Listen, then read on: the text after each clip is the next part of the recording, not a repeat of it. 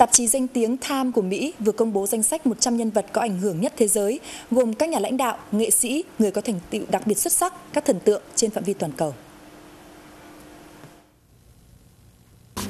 Như thường lệ, danh sách của Time được chia làm 5 hạng mục.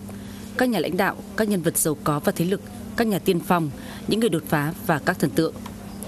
Trong danh sách này, nhà lãnh đạo Triều Tiên Kim Jong-un năm thứ hai liên tiếp có tên. Ông cùng với Tổng thống Mỹ Obama, Đức Thánh Cha Francis ở trong các hạng mục các nhà lãnh đạo.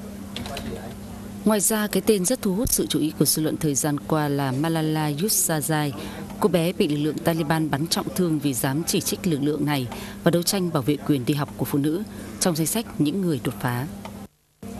Còn những nhân vật có ảnh hưởng lớn được Time nhắc đến là ca sĩ Jay-Z, nhà thiết kế thời trang Michael Kors và ngôi sao bóng rổ LeBron James. Bảng danh sách không xếp theo thứ hạng, nhưng sẽ có 7 gương mặt nổi bật nhất được chọn đăng trên trang bìa của ấn bản công bố danh sách 100 nhân vật được phát hành ngày hôm nay.